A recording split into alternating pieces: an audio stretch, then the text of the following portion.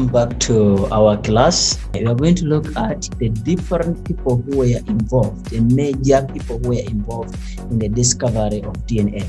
Uh, James Watson and Francis Crick, uh, these two, they were working together to try to um, solve the problem of uh, this uh, DNA molecular structure.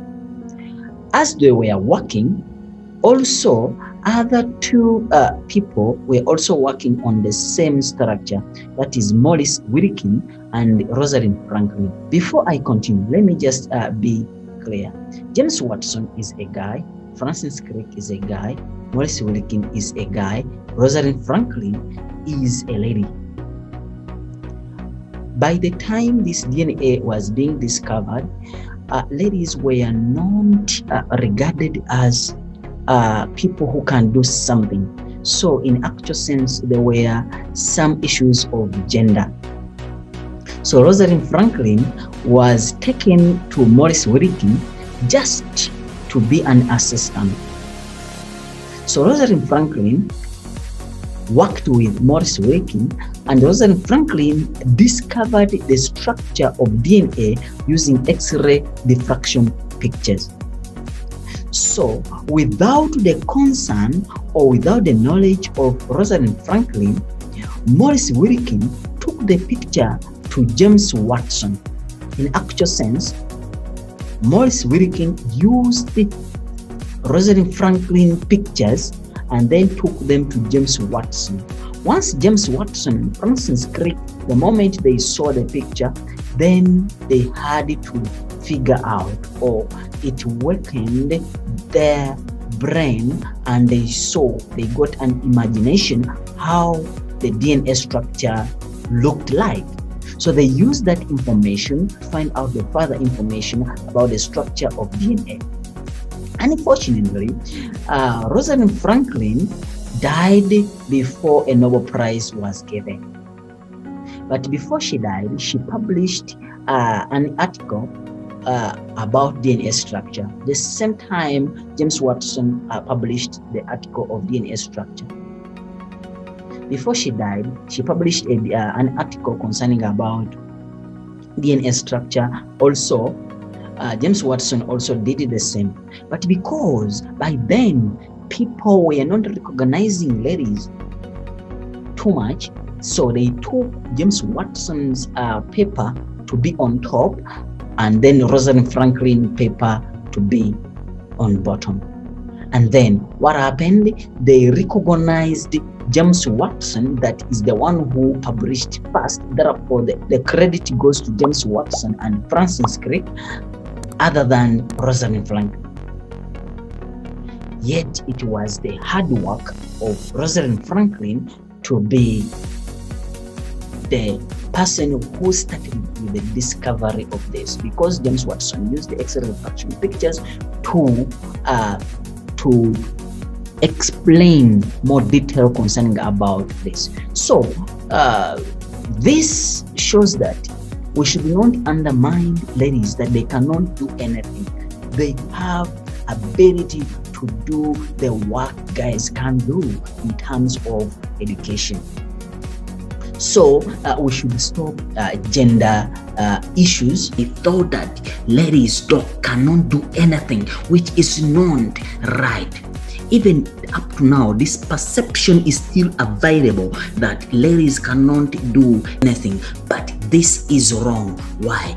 we have a lot of things which are being made by ladies and these ladies they are helping in our community. And so this is just a clear indication that um, that even ladies can do something which is important in science. So we want to see more scientists who are ladies coming out like Rosalind Franklin. So unfortunately Rosalind Franklin died at the age of 32 before the Nobel Prize was given. So in 1962, that is James Watson, Francis Crick, and then uh, um, Maurice Wilkin, they received a Nobel Prize determining the molecular structure of DNA.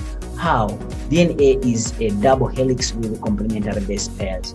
But if Rosalind Franklin was there, then it means that Rosalind Franklin would have obtained a Nobel Prize instead of Maurice Wilkins.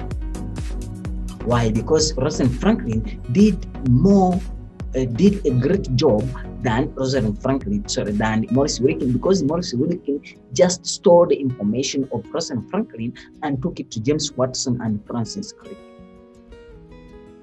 So how do we, let me just repeat. James Watson and Francis Crick, they were working together uh, to find out the molecular structure of DNA. Uh, Rosalind Franklin and the Maurice Wilkins, they also working together. They found out the structure of DNA using the X-ray diffraction picture. This structure was taken by uh, Maurice Wilkins to James Watson and Francis Crick, and then was used to discover by James Watson and Francis Crick to find more that DNA is a double helix with complementary base pair. They found out that um, the, the, the, the DNA consists of adenine, thymine, guanine, and cytosine. And they found out that uh, adenine, the percentage of adenine is equal to the percentage of, of, of thymine, and the percentage of guanine is equal to the percentage of uh, cytosine. Therefore, they say that adenine complements with thymine and guanine complements with um, uh, cytosine. Therefore, they say that these are complementary base pair. They are, uh, this is how this came about. This uh, that it is a complementary base pair. This forms because there are two strands. It forms is a double, and then these strands uh, they twist around uh, because it is in a wave form. Wave form, yes, it forms a helical because it is two strands or two helicals, then it forms what we call a double helix. And then say that DNA is double helix with a complementary base pair. That's how they came about with this structure of DNA. How do we ask in exam? How do we ask in exam? Who discovered the structure of DNA? That is James Watson and Francis Crick. Who discovered the structure of DNA using the X-ray diffraction pictures? Then that is Maurice Wilkins and Rosalind Franklin. In which year was uh, DNA discovered? That is 1962. Which of the following obtained the Nobel Prize uh, of the discovery of DNA? Crick.